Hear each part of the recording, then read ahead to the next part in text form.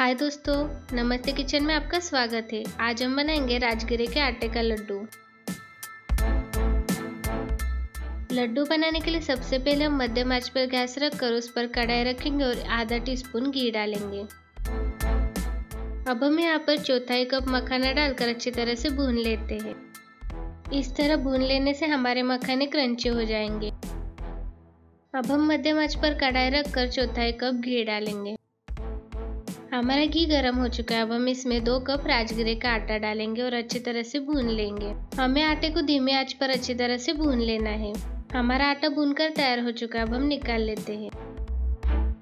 अब हम यहाँ पर कढ़ाई में दो टेबलस्पून कद्दूकस किया हुआ सूखा नारियल डालकर अच्छी तरह से भून लेते हैं। अब हम भुना हुआ सूखा नारियल और मखाना को मिक्सर के बर्तन में डालकर अच्छी तरह से बारीक कर लेते हैं। ये देखिए, हमारा नारियल और मक्खन अच्छी तरह से बारीक हो चुका है। अब हम इसे राजगिरे के आटे के बाउल में निकाल लेते हैं। अब हम यहाँ पर चौथाई कप भुनी हुई मूंगफली डालेंगे। अब हम यहाँ पर मूंगफली को पीसकर बारीक कर लेते हैं। हमारे मूंगफली के पाउडर तैयार हो चुके हैं। अब हम यहाँ पर आधा कप गुड़ पाउडर डालकर पीस लेते हैं।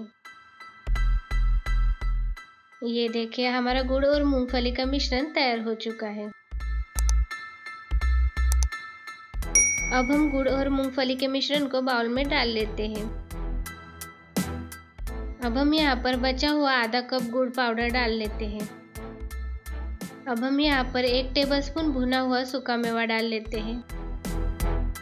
अब हम इन सबको अच्छी तरह से मिला लेते हैं। हमारा लड्डू का मिश्रण तैयार हो चुका है। अब हम एक हाथ में लड्डू का मिश्रण लेकर इसे दोनों हाथों से दबाते हुए लड्डू बना लेंगे। दोस्तों, अगर आपके लड्डू नहीं बन रहे हैं तो आप इसमें दो टेबलस्पून दूध डाल सकते हैं। ये देखिए, हमारा लड्डू तैयार हो चुका है। अब हम इसे एक प्लेट में सर्व कर लेते हैं। ऐसी रेसिपी देखने के लिए लाइक कीजिए सब्सक्राइब कीजिए और आपके अनुभव हमारे साथ शेयर कीजिए।